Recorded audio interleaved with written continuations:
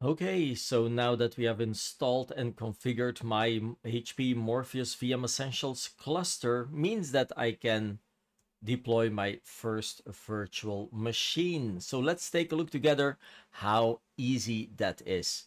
I'm going to show you quickly. I did some pre-preparation work already by uploading in my library virtual images.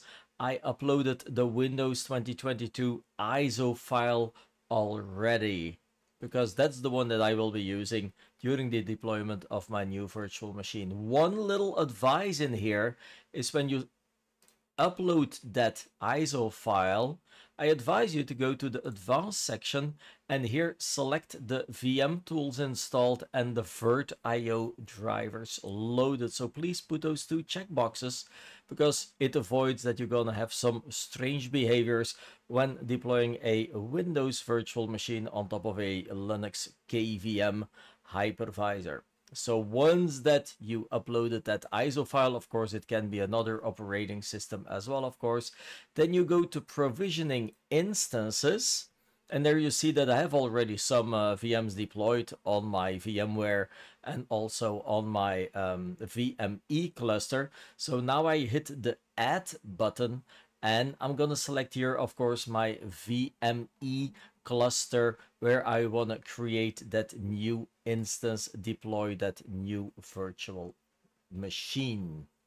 So First of all, I gotta give it an instance name. Let's call it demo VM uh, 01. You can optionally select here uh, the environment uh, where you wanna uh, run it in. You can add some additional labels as well uh, for larger environments. I hit next and the first thing that I need to select is the plan. Well, the plan, these are pre-created. You can create your own as well. Just to define how many resources for CPU and memory that you want to assign to that virtual machine. Gonna run it in the VME cluster resource pool. And now I can select here my capacity. Let's say my uh, root drive needs to be 100 uh, gig. And maybe I want an additional data drive of 120 gig something like that. Now you can leave normally here the auto uh, data store and then it will pick the one that has most of the capacity. Now for the demo uh, I'm gonna pick here uh, the NFS uh, data store um, to deploy my virtual machine you will see later on why I select my compute uh, network that I created earlier. Um, and then of course here the image, I'm gonna select that Windows 2022 ISO image in here. Well, also here, it's not only on that Windows 2022 ISO file that you need to select those two checkboxes. Also here in the advanced options, I advise you to select here that attach VirtIO drivers as well to be sure that you successfully can finish the installation of this Windows VM. Once that we've done that, you hit next. If you want to do some automation afterwards with some PowerShell or Bash scripting, you can do that in here. And if you want to use the integrated backup solution at that moment, you can select here the KVM VM snapshot integration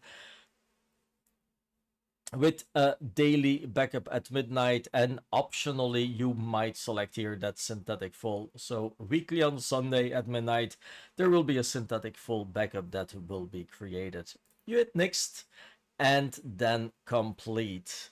And then will the deployment start of my demo virtual machine. Now to follow the progress you just click the demo VM01. You will see a progress bar here at the top. But here you can select as well the history uh, tab. And here now you can see the progress of the deployment of that virtual machine.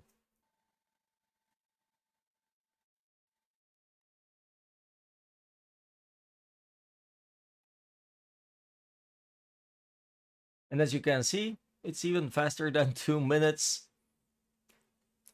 you will see all the sub steps as start virtual machine, the networking, then the templates, the automation that you might select as well.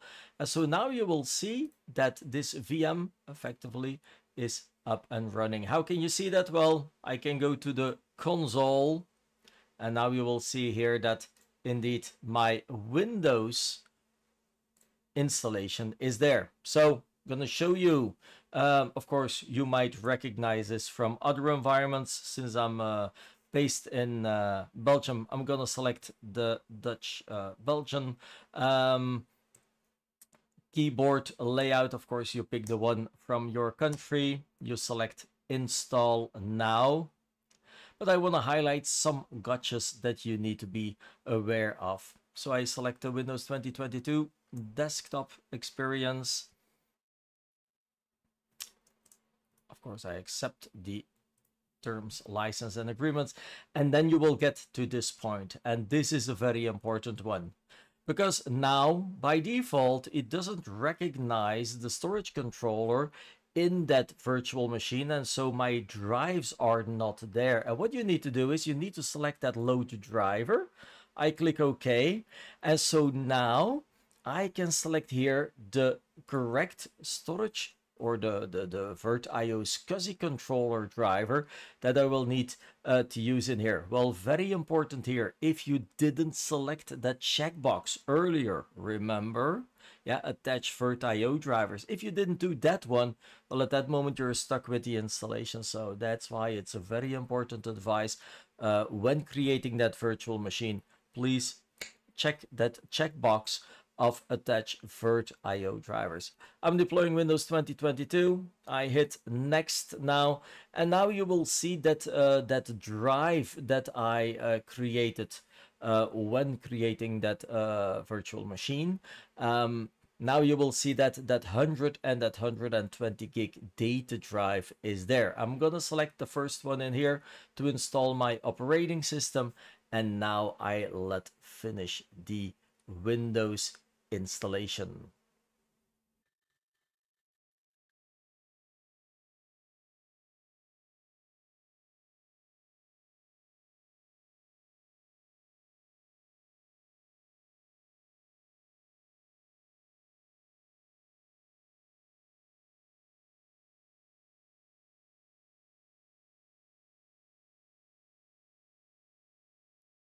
And there you go. Let's wait for the Windows Virtual Machine to boot up for the first time.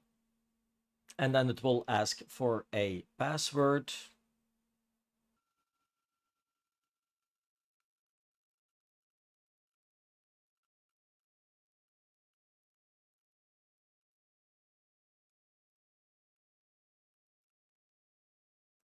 There you go.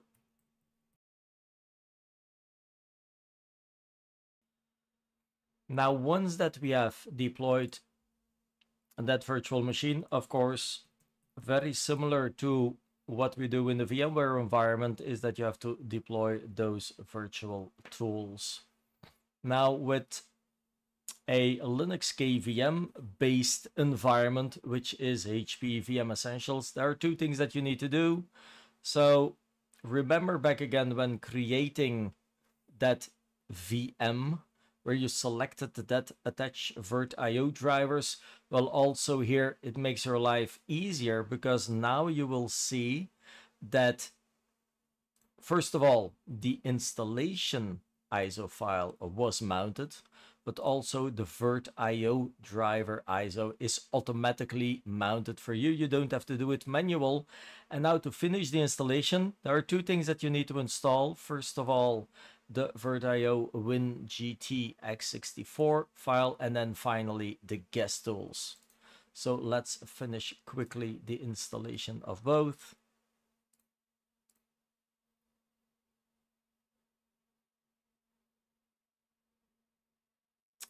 Yes, there is my network driver. And then finally do also the guest tools.